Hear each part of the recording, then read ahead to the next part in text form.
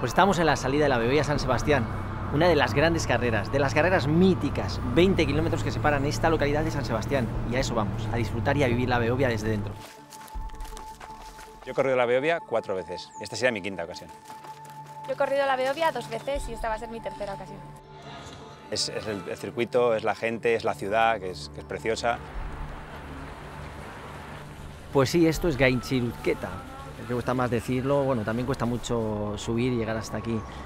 Estamos en la parte, una de las partes complicadas de, del recorrido. Tan solo han transcurrido 5 kilómetros, nos queda todavía mucho por hacer. Hemos salido, hemos iniciado nuestro ritmo de carrera y nos encontramos con este puertaco que es de, los puntos claves de esta, de esta Beovia San Sebastián. Es muy dura.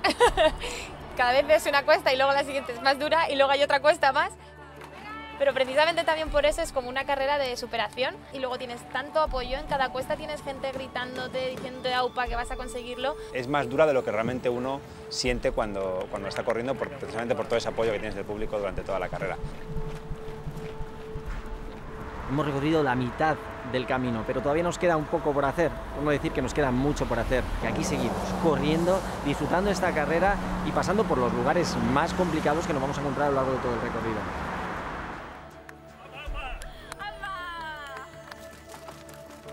Poder contar con gente profesional que te puede guiar un poco en los entrenamientos, en el tipo de, de ejercicio que debes hacer. Tal. Es un equipo Está guay. fenomenal. Y, y con y Chema que te carga de energía siempre, solo te lo tienes que cruzar y ya te Sí, ya, ya, te, ya te anima para correr. La sí. verdad que sí, que es un ejemplo.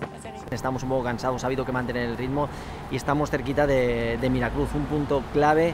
Si somos capaces de, de culminar ese alto de, de Miracruz con fuerzas todavía, lo demás es muy sencillo, así que aquí hay que concentrarse bien, esforzarte un poquito más porque la meta se acerca. Hemos hecho un largo camino hasta aquí y ya nos queda muy poquito. Yo cuando ves al final ya el mar, que ya estás llegando, es como el mejor momento del mundo.